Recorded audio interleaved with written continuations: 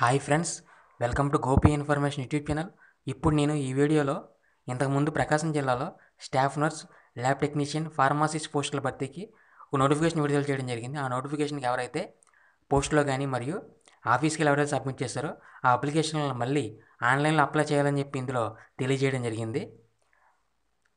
మీరు ఆన్లైన్లో అప్లై చేయడం చివరి జూలై ముప్పై ఒకటో తారీఖు ఇవ్వడం జరిగింది. ముందుగా పోస్టుల యొక్క వివరాలను అదేవిధంగా ఈ ఆన్లైన్లో ఎలా అప్లై చేయాలో ఒకసారి పరిశీలిస్తే కనుక స్టాఫ్ నర్స్ మొత్తం మూడు వందల నలభై రెండు పోస్టులు కేటాయించారు వీరికి మంత్లీ శాలరీ ముప్పై నాలుగు వేలుగా ఇందులో మెన్షన్ చేయడం జరిగింది. Next lab technician grade two మొత్తం ముప్పై మూడు పోస్టులు కేటాయించారు. వీరికి మంత్లీ శాలరీ ఇరవై ఎనిమిది వేలుగా ఇందులో మెన్షన్ చేయడం జరిగింది. నెక్స్ట్ ఫార్మాసిస్ట్ గ్రేడ్ టూ మొత్తం పద్దెనిమిది పోస్టులు కేటాయించారు. వీరికి మంత్లీ శాలరీ ఇరవై ఎనిమిది వేలుగా ఇందులో మెన్షన్ చేయడం జరిగింది. నెక్స్ట్ చైల్డ్ సైకాలజిస్ట్ ఒక పోస్ట్ కేటాయించారు. వీరికి మంత్లీ శాలరీ నలభై తొమ్మిది వేల రెండు వందల యాభై రూపాయలుగా ఇందులో మెన్షన్ చేయడం జరిగింది. నెక్స్ట్ పోస్ట్ రేడియోగ్రాఫర్ రెండు పోస్టులు కేటాయించారు. వీరికి మంత్లీ శాలరీ ముప్పై వేల ముప్పై వేల ఆరు వందల అరవై రూపాయలుగా ఇందులో మెన్షన్ చేయడం జరిగింది. ఈ పోస్టులు కేటగిరీ వైజ్ ఇవ్వడం జరిగింది. ఇందులో స్టాఫ్ నర్స్ పోస్టులు డిఎంహెచ్ ఆఫీస్ పరిధిలో మొత్తం తొంభై ఏడు పోస్టులు కేటాయించారు. అదేవిధంగా నెక్స్ట్ ఆంధ్రప్రదేశ్ వైద్య విధాన పరిషత్ హాస్పిటల్స్లో మొత్తం ఎనభై నాలుగు పోస్టులు కేటాయించారు. Next government general hospital Ongole నందు మొత్తం నూట నూట అరవై ఒక్క పోస్టులు కేటాయించారు. ఇందులో కేటగిరీ వైజ్ కూడా ఇవ్వడం జరిగింది. Next lab technician grade two ఇందులో డిఎంహెచ్ ఆఫీస్ పరిధిలో మొత్తం ముప్పై ఒక్క పోస్టులు కేటాయించారు. ఈ ఆంధ్రప్రదేశ్ వైద్య విధాన పరిషత్లో ఒక పోస్టు అది ఓసీ ఉమెన్కి ఒక పోస్ట్ కేటాయించారు. గవర్నమెంట్ జనరల్ హాస్పిటల్ ఒంగోలు నుండి ఒక పోస్ట్ కేటాయించారు. ఈ పోస్టు ఎస్సీ ఉమెన్కి ఒక పోస్ట్ కేటాయించడం జరిగింది. నెక్స్ట్ ఫార్మాసిస్ట్ పోస్టులు డిఎంహెచ్ ఆఫీస్ పరిధిలో మొత్తం పన్నెండు పోస్టులు కేటాయించారు. ఆంధ్రప్రదేశ్ వైద్య విధాన పరిషత్ పరిధిలో నాలుగు పోస్టులు గవర్నమెంట్ జనరల్ హాస్పిటల్ ఒంగోలు రెండు పోస్టులు కేటాయించడం జరిగింది. చైల్డ్ సైకాలజీ ఒక పోస్ట్ కూడా గవర్నమెంట్ జనరల్ హాస్పిటల్ ఒంగోలు నుండి ఒక పోస్టు ఆ పోస్ట్ ఓసీ ఉమెన్కి ఒక పోస్ట్ కేటాయించడం జరిగింది. అదేవిధంగా రేడియోగ్రాఫర్ ఒక పోస్టు రెండు పోస్టులు కూడా గవర్నమెంట్ జనరల్ హాస్పిటల్ ఒంగోలు కేటాయించారని ఆ పోస్టులో ఓసీ జనరల్కి ఒక పోస్టు బీసీఏ ఉమెన్కి ఒక పోస్ట్ కేటాయించారని చెప్పి ఇందులో తెలియజేయడం జరిగింది.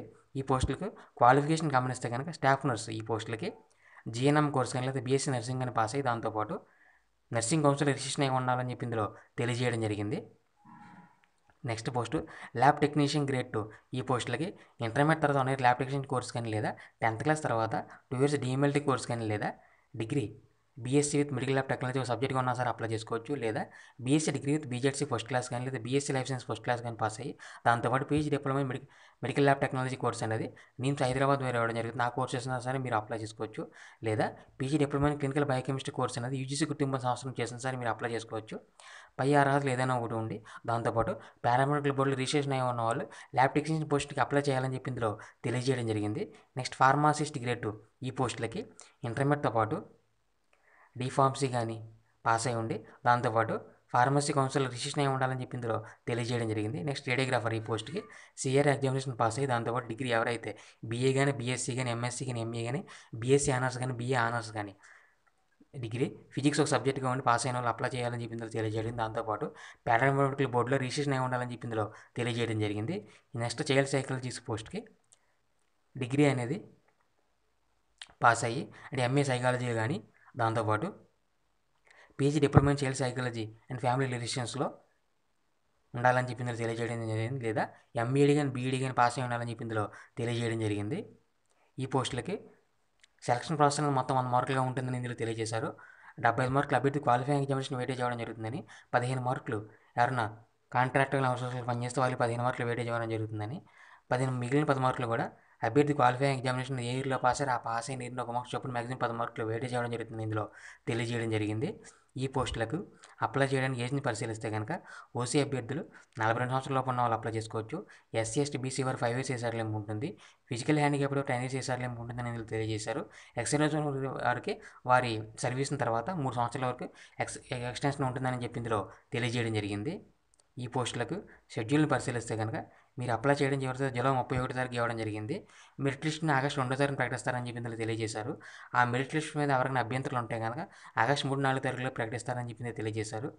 అలాగే ఒకటి వన్ వన్ ఇస్ట్ రెండు నిష్పత్తిలో సర్టిఫికేట్ వెరిఫికేషన్స్కి ఆగస్ట్ ఐదు ఆగస్టు ఇరవై పిలుస్తారని చెప్పి తెలియజేశారు. ఫైనల్ మెరిట్ లిస్ట్ అనేది ఆగస్టు ఎనిమిది జరిగిన అలాగే అపాయింట్మెంట్ ఆర్డర్స్ అని ఆగస్టు పదో తారీఖున ఇస్తారని చెప్పి ఇందులో తెలియజేయడం జరిగింది. ఈ పోస్టులకు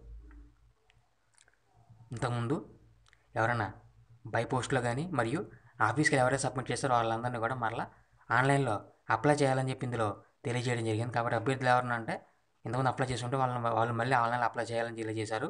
ఎవరైనా కొత్తగా అప్లై చేసి కానీ మళ్ళీ ఆన్లైన్లో మాత్రం అప్లై చేయాలని చెప్పి ఇందులో తెలియజేయడం జరిగింది. మీరు అప్లై చేయడం లింక్ అనేది ఇక్కడ ప్రొవైడ్ చేయడం జరిగింది. ఈ లింక్ నేను డిస్క్రిప్షన్ బాక్స్లో ప్రొవైడ్ చేస్తాను. ఆ లింక్ మీద క్లిక్ చేసినట్టు మీకు అప్లికేషన్ అది ఓపెన్ అవ్వడం జరుగుతుంది. మీరు ఆ లింక్ మీద క్లిక్ చేసినట్టు మీకు ఈ విధంగా అప్లికేషన్ అనేది ఈ విధంగా ఓపెన్ అవ్వడం జరుగుతుంది. Home important dates online application duplicate acknowledgement అనేది ఇలా ఓపెన్ అవ్వడం జరుగుతుంది మీరు ఇక్కడ ఆన్లైన్ అప్లికేషన్ మీద క్లిక్ చేయగానే మీకు ఈ విధంగా ఓపెన్ అవ్వడం జరుగుతుంది.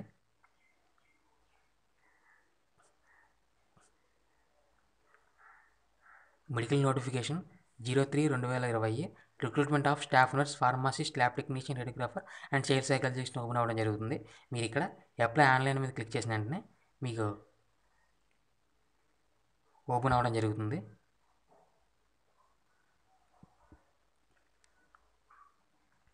Instructions for submitting online application అనేది ఇన్స్ట్రక్షన్స్ ఓపెన్ అవ్వడం జరుగుతుంది. మీరు అప్లై చేసే ముందు ఇన్స్ట్రక్షన్స్ అన్ని కూడా చదువుకుని అప్లై చేయాలని చెప్పి ఇందులో తెలియజేయడం జరిగింది. ఇందులో కూడా ఆన్లైన్ అప్లికేషన్స్ ప్రతి కాలము కూడా స పూర్తి చేస్తే పూర్తి చేయాలందే అప్లికేషన్ అనేది సబ్మిట్ అవ్వదని చెప్పి ఇందులో తెలియజేయడం జరిగింది. స్టార్ మార్క్స్ ఉన్నాయి కంపల్సరీగా. పూర్తి చేయాలని చెప్పి ఇందులో తెలియజేయడం జరిగింది. ఇక్కడ మీరు డాక్యుమెంట్స్ అయినా అప్లోడ్ చేయడానికి ఇన్స్ట్రక్షన్స్ ఇవ్వడం జరిగింది. అందులో మీరు ఫైల్ నేమ్ అనేది ఇక్కడ స్పెషల్ క్యారెక్టర్స్ కానీ ఇతర సింబల్స్ కానీ ఏమి పెట్టకూడదని చెప్పి ఓన్లీ ఫైల్ నేమ్ మాత్రం నేమ్ మాత్రం పెట్టాలని చెప్పి ఇందులో మీరు సపోజ్ సపోజ్ టెన్త్ క్లాస్ అయితే కానీ టెన్త్ క్లాస్ అని చెప్పి నేమ్ సేవ్ చేయాలని చెప్పి ఇందులో తెలియజేయడం జరిగింది. అదేవిధంగా ఫోటో అనేది వన్ ఎంబీ కంటే తక్కువ ఉండాలని చెప్పి ఇందులో స్కాన్ చేయాలని చెప్పి ఇందులో తెలియజేశారు.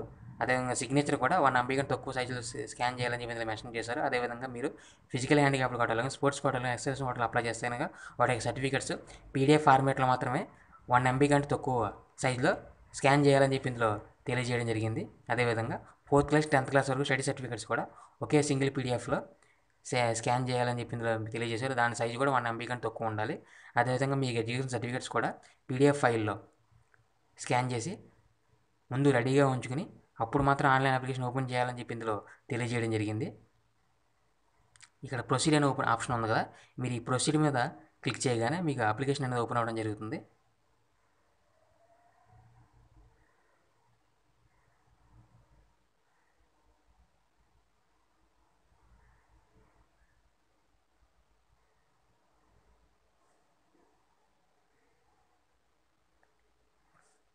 ఇందులో నోటిఫికేషన్ త్రీ నెంబర్ రెండు వేల ఇరవై recruitment staff nurse pharmacy application telegrapher and sales cycles open అవ్వడం జరుగుతుంది. ఫోటో మీద అప్లోడ్ అని క్లిక్ చేయగానే మీరు సెలెక్ట్ చేసిన ఫోటో వన్ ఎంబీ కంటే తక్కువ ఉండాలి.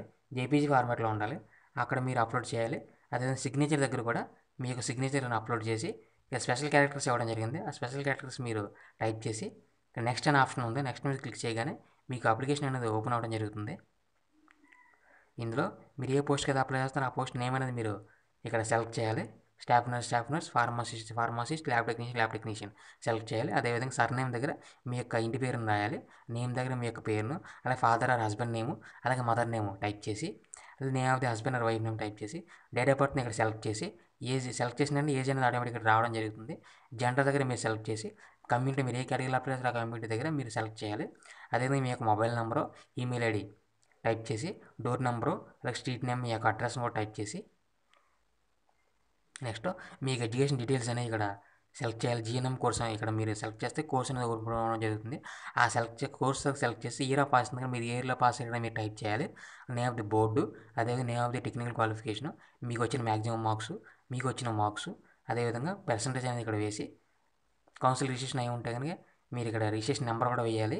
వేసిన తర్వాత ఇక్కడ బ్రౌజ్ ఆప్షన్ ఉంది కదా మీరు ఆ పీడిఎఫ్ ఫైల్ని వన్ ఎంబీ కంటే తక్కువలో స్కాన్ చేసి మీరు ఇక్కడ అప్లోడ్ చేయాలి. అదే మీకు ఎక్స్ట్రా క్వాలిఫికేషన్ ఉంటే కనుక యాడ్ క్వాలిఫికేషన్ మీద క్లిక్ చేస్తే మీకు ఎక్స్ట్రా ఇంకో కాలం మీద ఓపెన్ అవుతుంది జరుగుతుంది. అక్కడ కూడా మీరు ఎడ్యుకేషన్ క్వాలిఫికేషన్ సెలెక్ట్ చేసి ఎప్పుడు పాస్ అయ్యారు మీకు వచ్చిన మార్క్స్ టోటల్ మార్క్స్ అని ఇక్కడ వేసి ఆ పీడిఎఫ్ ఫైల్ కూడా మీరు సెలెక్ట్ చేస్తే అక్కడ అప్లోడ్ అవ్వడం జరుగుతుంది.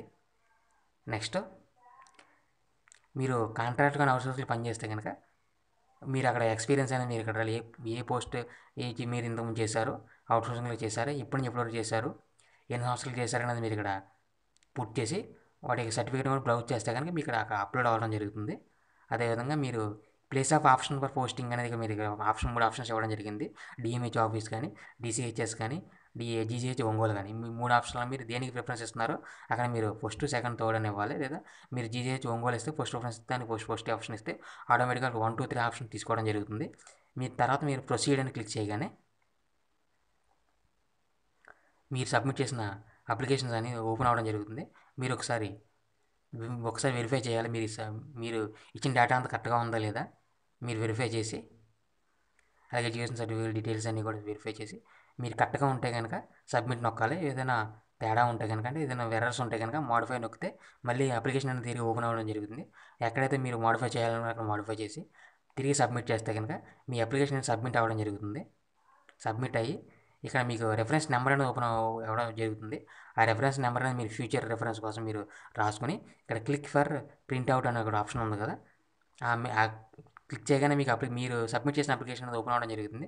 దాన్ని ప్రింట్అవుట్ తీసుకుని మీ ఫ్యూచర్ రెఫరెన్స్ కోసం మీ దగ్గర ఉంచుకోవాలని చెప్పి ఇందులో తెలియజేయడం జరిగింది. ఈ విధంగా మీరు ఆన్లైన్ అప్లికేషన్ సబ్మిట్ చేయాలని చెప్పి ఇందులో తెలియజేయడం జరిగింది.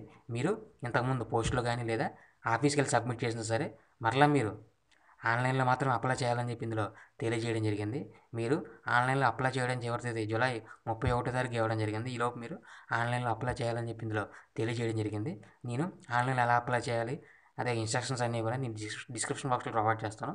ఎవరైనా సరే జూలై ముప్పై ఒకటో తారీఖులో అప్లై చేయవలసిన తెలియజేస్తున్నాను. ఇటువంటి లేటెస్ట్ జాబ్ అప్డేట్స్ కోసం Gopi information YouTube channel subscribe చేసుకుని పక్కన ఉన్న బెల్ ఐకాన్ ప్రెస్ చేయండి. ఈ వీడియోని లైక్ చేసి షేర్ చేయండి ఫ్రెండ్స్. Thank you